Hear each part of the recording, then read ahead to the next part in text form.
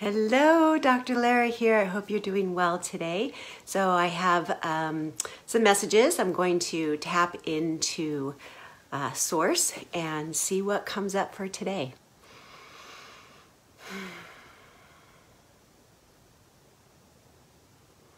So the first thing that I'm getting is that they're showing me water.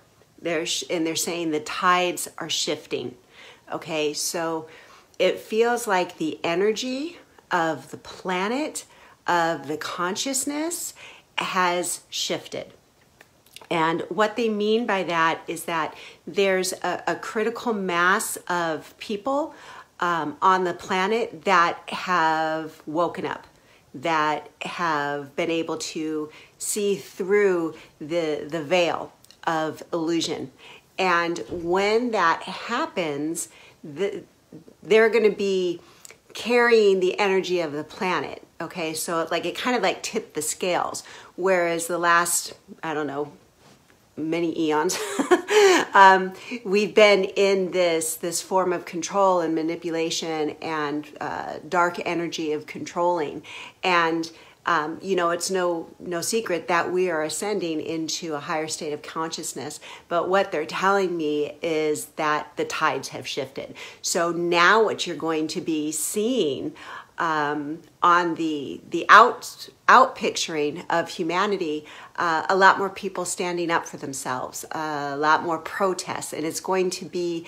Um, more in the mainstream media, people are going to be starting to cover it because people in the mainstream media that were kind of pawns in all of this, they've woken up and they have seen what is happening. So that's what's happening on like the outer level. So what might be happening within you right now is you may be finding yourself standing up for yourself. You may find yourself in situations that are calling you to be your more authentic self. And when that happens, there can be disturbances in relationships uh, with coworkers or, or whatever, because it feels like many of us have been told to don't rock the boat Okay, a lot of stuff with water today. Uh, don't, we've been told to don't rock the boat, meaning don't say anything, keep the peace, you know, don't upset everybody, swallow your feelings. And what we're realizing now, it's like, no, like that's not being my authentic self. I need to express who and what I am, but I can do it in a kind and loving way. Okay, and with that, what they're also saying is that um, you know, many people are like, when's it going to go back to normal? When is it going to settle down? And things are just really starting to get exciting now on the outer level and on the inner level. So you may be feeling uh, your emotions may be a little bit more intense, your dreams may be a little bit more vivid.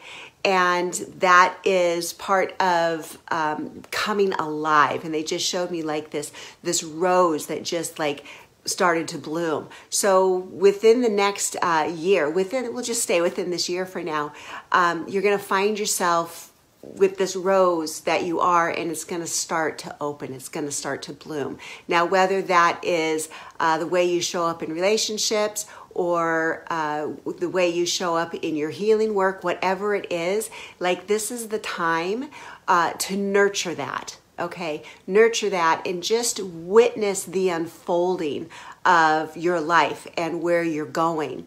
Um, and also, they're saying to do your best to let go of expectations of where you think you should be and what you should be doing and really do your best to not compare yourself with anybody because everybody has their own path and every flower blooms at the right time okay? So don't be so hard on yourself thinking that you should be further along or you should have more followers or you should be in a relationship. Like, if you can do that, to just let that go and just allow yourself to be more in the moment and enjoy these times right now. Because when you let go of the expectation of the future and the way you think it should look, it's like you have blinders on and that's the only way that you want it to be, it doesn't give the universe a whole lot of room to work. And sometimes, you know, the universe has bigger plans for you than what you can conceive. And it has all of these answers out here, but you're looking for this right here. You have this tunnel vision.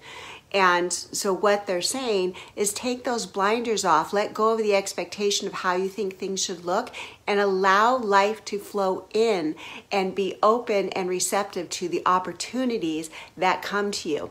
And the word for this month is yes.